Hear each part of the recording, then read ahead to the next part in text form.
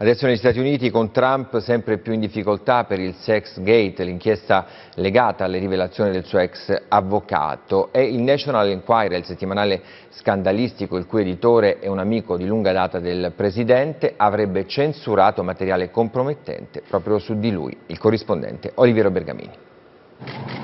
Ieri ha lasciato quasi di nascosto la Casa Bianca. Ormai è scontro aperto tra il ministro della giustizia Jeff Sessions e Donald Trump.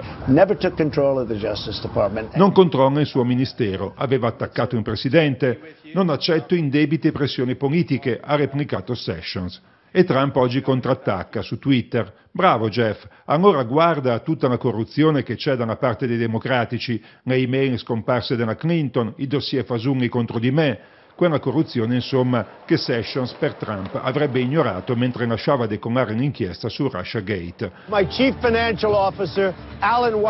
Intanto però arriva la notizia che Alan Weissenberg, capo finanziario della Trump Organization, ha ottenuto un'immunità nell'ambito delle indagini sull'ex avvocato del presidente Michael Cohen, personaggio chiave della holding del presidente, starebbe dunque collaborando così come David Packer, capo del gruppo editoriale che pubblica il National Enquirer, un tabloid scandalistico che nel 2016 comprò i diritti della storia di Karen McDougal, ex playmate e presunta amante di Trump, ma poi non la pubblicò, la mise a tacere, Cohen dice di aver rimborsato quell'operazione sotto la direzione del futuro presidente, violando le norme sui finanziamenti elettorali. Trump respinge le accuse, sostiene di aver usato fondi personali, non elettorali, ma adesso ci si chiede se l'Inquirer non custodisca sul capo della Casa Bianca altri segreti.